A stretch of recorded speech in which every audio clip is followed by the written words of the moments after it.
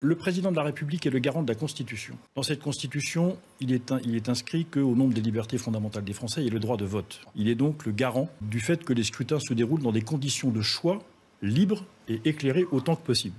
Donc j'ajoute, même s'il me le permet, je place devant les exigences sanitaires les conditions du débat démocratique de ces élections. Oh. Parce que moi, je, moi, je veux bien, je veux bien qu'on fasse campagne en 15 jours. Enfin, de, quelle campagne on parle? Comment est-ce que les électeurs vont pouvoir se déterminer sur les candidats des régionales et des départementales? Alors, je sais bien, les Français, pour un certain nombre d'entre eux en tout cas, ont tendance à considérer que ces élections, comme ils ne savent pas très bien à quoi ça sert, euh, c'est pas si grave si. Euh, bon, mm. je ne suis pas du tout de cet avis, bien entendu, et je pense que la première question à se poser, c'est de savoir si les candidats vont pouvoir faire campagne dans des conditions satisfaisantes.